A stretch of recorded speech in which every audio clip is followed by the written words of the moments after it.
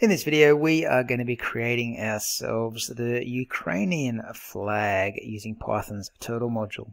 As you can see here it's a pretty simple flag, it's just a blue and yellow rectangle whacked onto the page.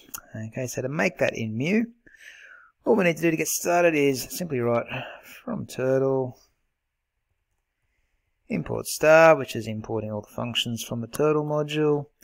I'm going to set the speed that we draw at to zero we're then going to use the setup function to set up the size of our page. We're going to have it as 800 width and 500 height. And we're going to set the BG color, which is the background color, to yellow. That's just going to save us um, having to draw this yellow um, rectangle down the bottom. Okay, so we're just going to have the yellow background and we're going to whack a blue rectangle on top of it.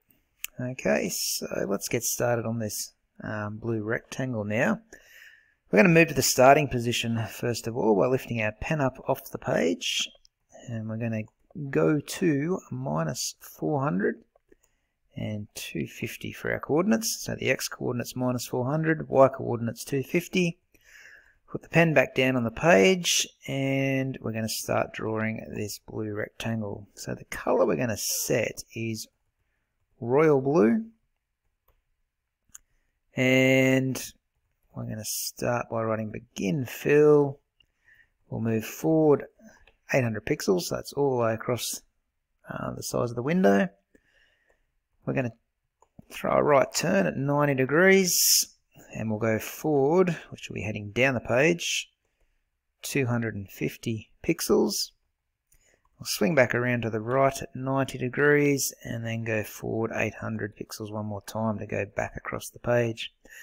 Once we've done that, we can simply end the fill, which will close up our rectangle, and we'll hide our turtle at the end so we don't see the little icon that draws our flag.